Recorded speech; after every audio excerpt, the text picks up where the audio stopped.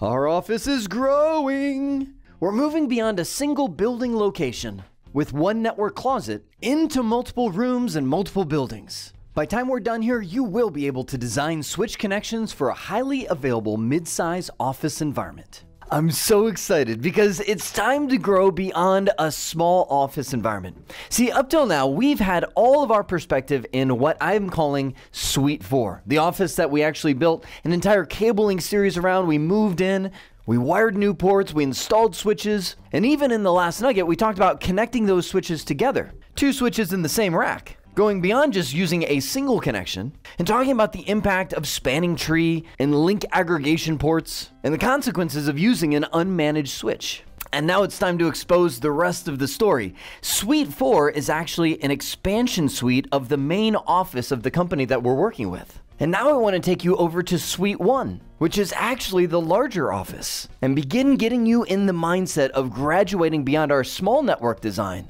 into planning to build a mid-sized network environment. Well, this is the office that we know and love. We built this in the cabling series, installed the rack, did all the cabling, installed the switches, and got this office connected. But now it's time to go into the great beyond. Come with me. Walk into this area, which is the shirt company, and down the hallway and out the front door. Now when I showed you the map of the office suites, I had a couple that are question marks. That wasn't door prizes, those are just tenants that I have no idea who they are. So we're gonna walk right on by them into that suite one down at the end. And here we are.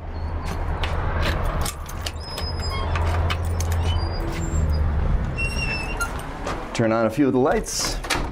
There we go.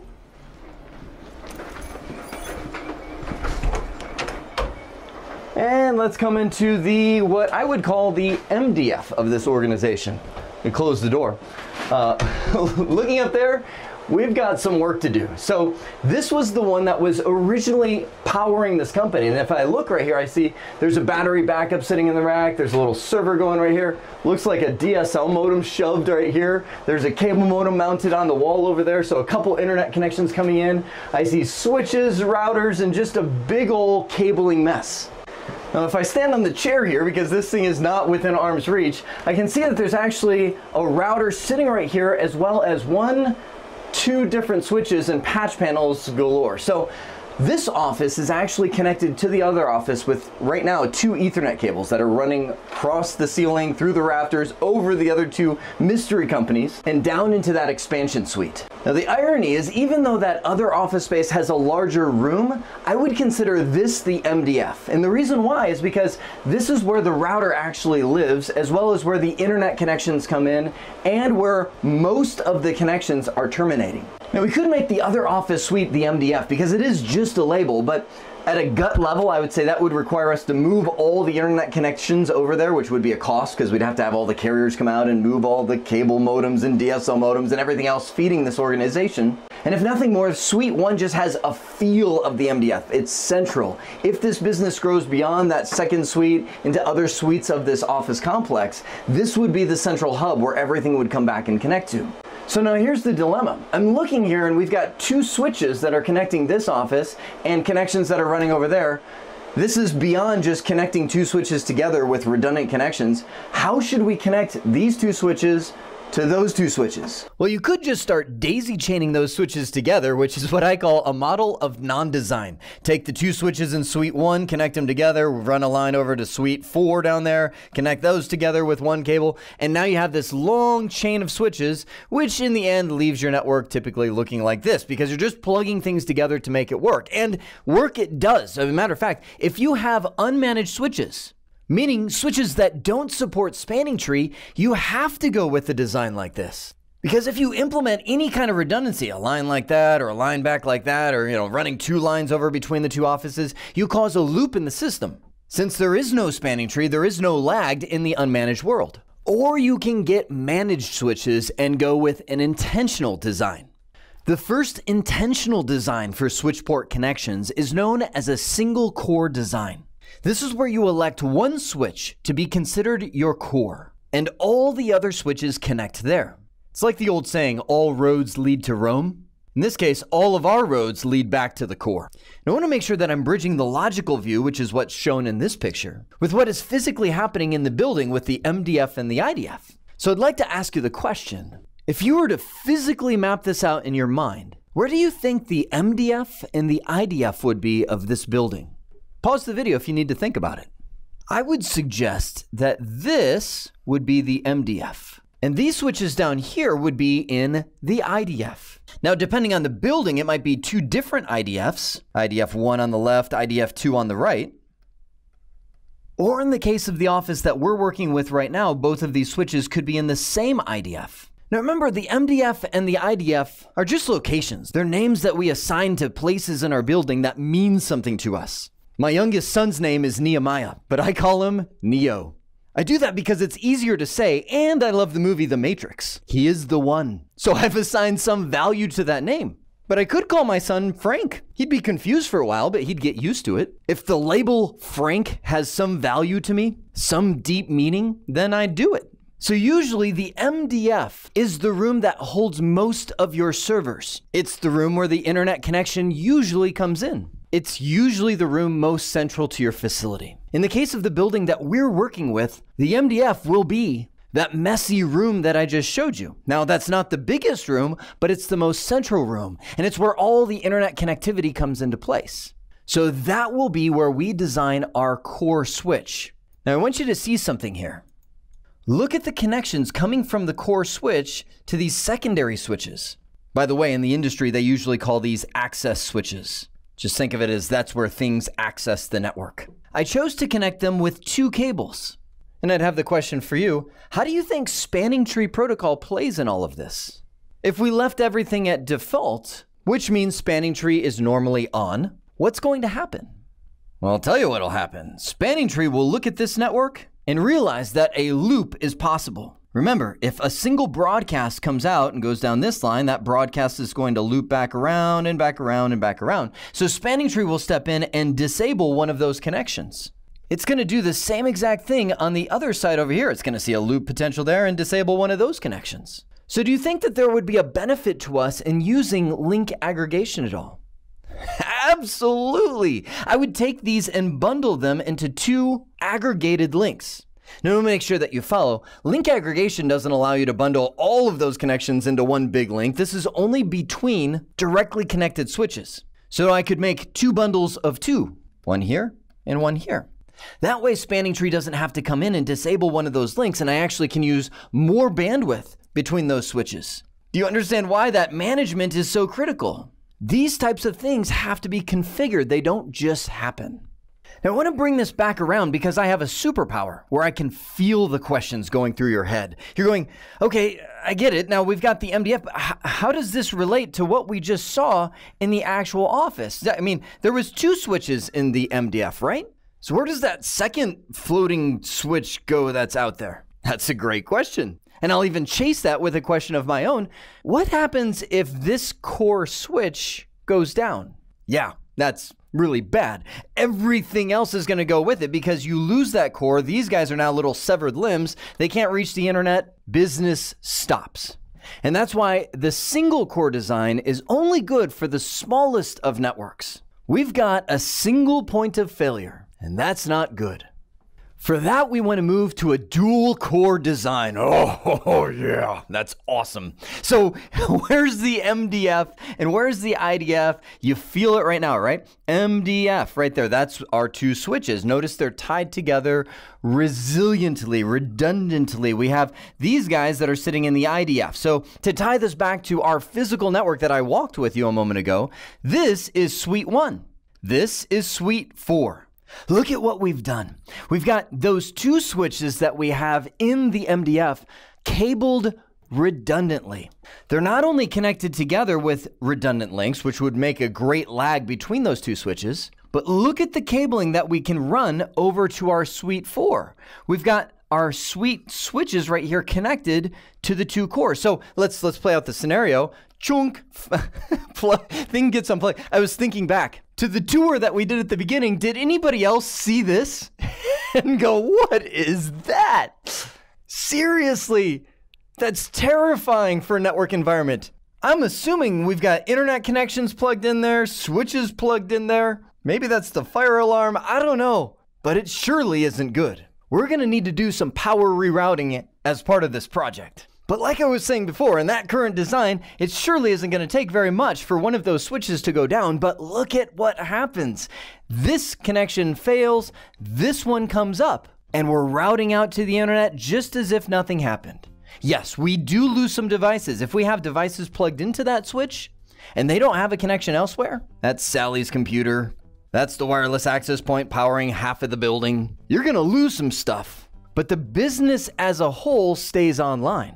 Now, you might be thinking to yourself, okay, well, what size of business do I have to reach before I can justify going from a single core to a dual core? And that is a great question, but it's not quite the right question. The size of business doesn't necessarily matter. It's what does failure cost you?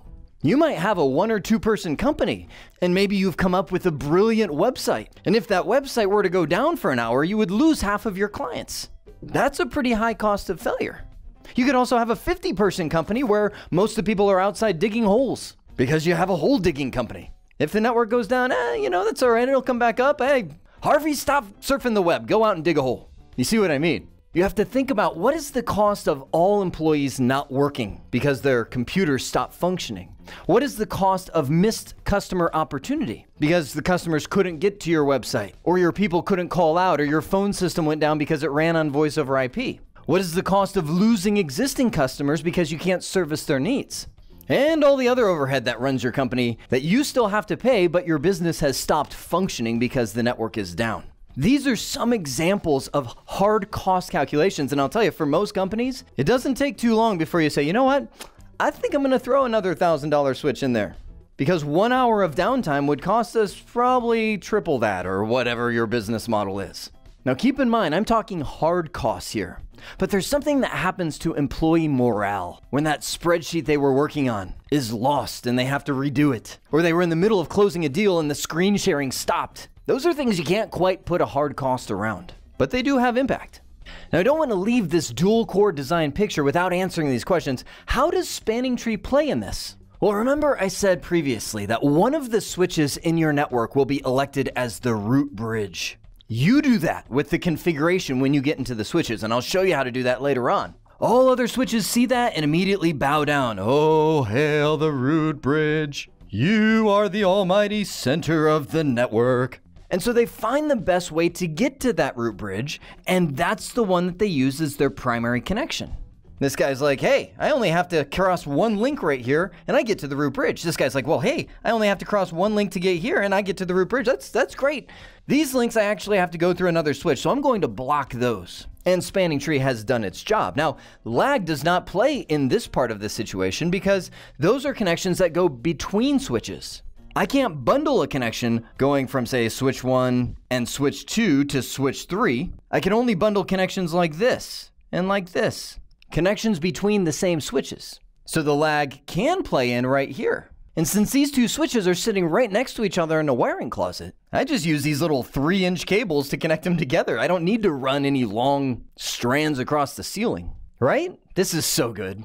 I'm loving this conversation. Now, I know some of you are looking up here at these internet routers and going, well, okay, does spanning tree play here? Uh, uh, uh, bite those fingernails.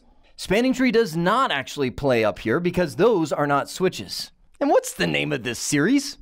Our eyes are all focused on the switch design. We'll get into the internet routing design later on.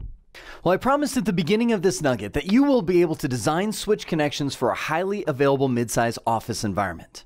I'd love to run through one final scenario with you the elementary school. A new elementary school has just moved into a vacant building. That'd be this one. They've run approximately 180 cables from various areas of the school to the rack of equipment in the boiler room. I'll show you the floor plan in just a second. They plan to move into the adjacent vacant building over there, which has a mirrored floor plan as the school grows. The school has hired you to install and configure switches for their facility. Determine the number of switches required for the existing building and the model that they should follow for the new building. So here's the floor plan of the elementary school. You can see the various classrooms down there at the bottom nurse's office, teacher's lounge. So 180 some cables have been run from all of these locations right here to the center of the boiler room. Right here on the east wall of the building will be the second building that they'll move into that has a mirrored floor plan to this. This is what we need to design. Well, here we are on a blank slate.